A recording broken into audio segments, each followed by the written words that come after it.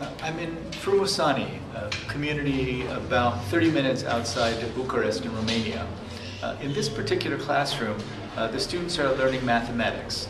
Uh, the vast majority of the students in this classroom are from the Roma community.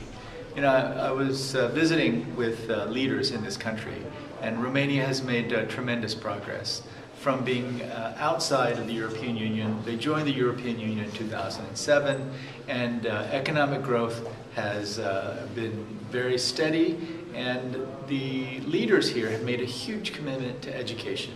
We came to the school specifically to look at the importance of investing in education uh, in order to build the foundations for future economic growth. I was very impressed with the commitment of the Minister of Education, of the Prime Minister, and the President in making these kinds of investments.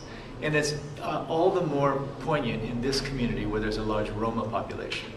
You know, the access of the Roma community to education has been a major issue for a very, very long time. And uh, in this particular community, uh, many more of the Roma students uh, are in school, but there's a long way to go. Uh, school performance rates are not where they should be. Uh, completion rates are not where they should be. And the point that I make over and over and over again to ministers of finance and to, and to uh, heads of state is that investing in education at the primary, secondary, and even tertiary level is not simply an, ex an expense. It's one of the vital investments that any country can make in future economic growth.